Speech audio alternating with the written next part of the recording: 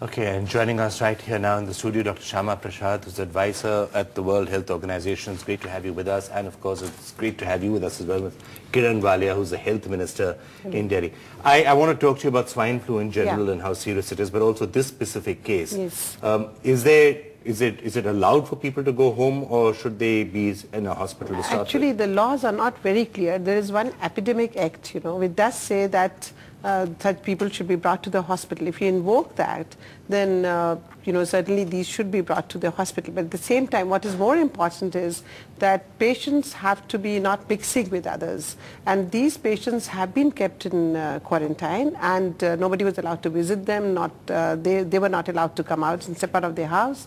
But at the same time, just to be extra cautious, we have already moved them to the hospital. They are in Ramnoloya hospital now. So you're saying that it's not just in their case that a specific exception was made because they're well connected or rich or something. I mean, is, there's no law you're saying that somebody has there, to be... There is one, uh, there is one old act, you know, the Epidemic Act, and this this can be invoked once there is an epidemic. But at the same time, to be extra cautious, we have already moved them to LNJP hospital. They are very well now in the hospital. There may have been resistance from them, but we have uh, insisted that they should be moved to the hospital. We're not going to succumb to pressures. We have to protect lives of people in Delhi. Okay, Dr. Prasad, is, uh, is there some specific rules that you'd like to see followed, not just in Delhi, but in all countries? Somebody's got this. Do they have to be taken into a hospital? Should it be made compulsory? Or do you think if they, if they guarantee that they will be isolated at home, then that's good enough? There's a concept called voluntary isolation.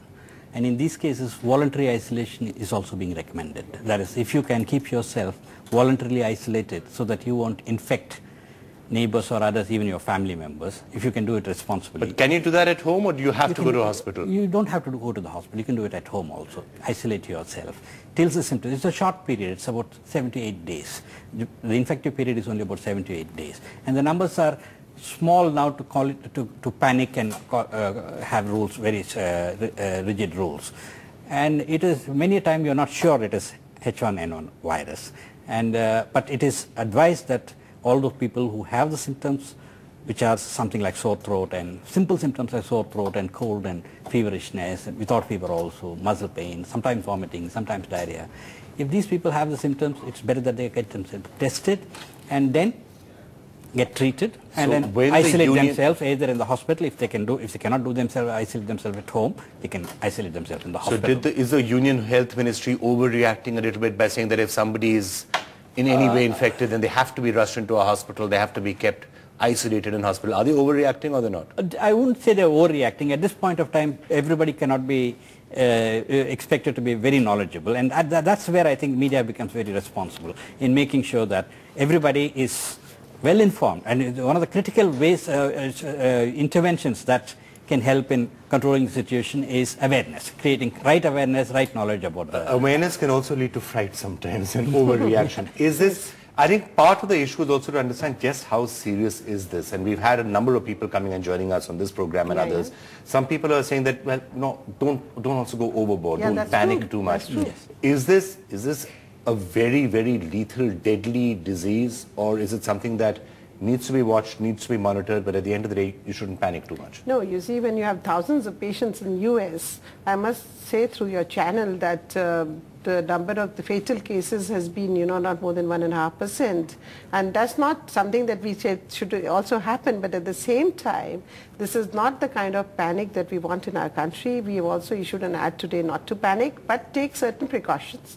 As uh, doctor is just saying, that we must, you know, like uh, as frequently as possible, wash our hands. And uh, at the airports, we have been very particular. They have to fill a certain performa. That this is the number which they should contact. And all the four cases have contacted that particular number, which is uh, National Institute of Communicable Diseases. And they were, this is, these are all self-reported cases.